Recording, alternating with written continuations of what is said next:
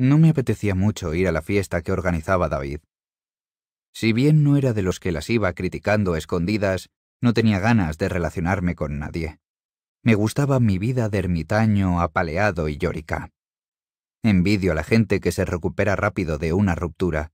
Yo sigo tardando una eternidad. No es fácil romper una relación, nunca es sencillo. Las personas que han pasado por mi vida, toda la gente con la que he salido, incluso con la que solo he estado una noche, me han marcado de una forma u otra. No soy capaz de pasar de una a otra sin más. Si estuve con esa persona es porque la elegí por algo, algún tipo de conexión, y aunque ésta se rompa, eso no significa que no haya estado ahí. Supongo que nunca me recupero del todo de una ruptura, y menos aún si es por email. El sentimiento que más prolifera en esas situaciones es la rabia. No hace falta ningún tipo de estudio o encuesta para saberlo. ¿Por qué me ha dejado? ¿He hecho algo que no le ha gustado? ¿No merezco ser amado? ¿Todas las cosas que dijo eran mentira? ¿Es un marica reprimido con apariencia de hetero y no quiere defraudar a sus padres? No es bueno tomar decisiones en esos momentos. Nunca se tomarán medidas adecuadas. Esa era mi situación. Sé que la gente hablaba de mí a mis espaldas, me decía cosas a la cara, pero se callaba el resto para tener algo con lo que cotillear. La mejor forma de romper el hielo es poniendo verde a alguien, y esos días, ahora soy consciente, fui yo al que le tocó sufrirlo. Solo necesitaba a alguien que me hiciera caso, que se olvidara del mundo y se centrara en mí.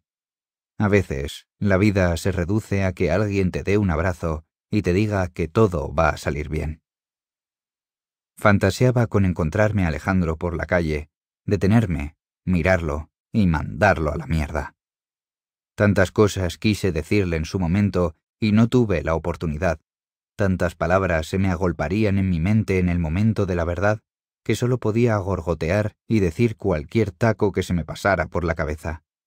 Era lo malo y lo bueno de caminar por Gran Vía.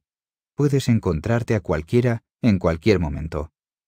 Sé que es un lugar muy típico en el que comenzar mi historia, pero tarde o temprano, todos los caminos de Madrid llevan a Gran Vía acabas en ella sin quererlo, o queriendo, la mayoría de veces. Una de las arterias principales de la ciudad, hogar de turistas, modernos, famosos y violentos reclutadores de ONG, con historias en cada una de sus baldosas y edificios. Era lo perfecto de Madrid, te permitía viajar sin moverte de la ciudad. No era un lugar para anquilosarte, para quedarte inmóvil y ver la vida pasar. Te permitía participar. Es más, te apremiaba a ello.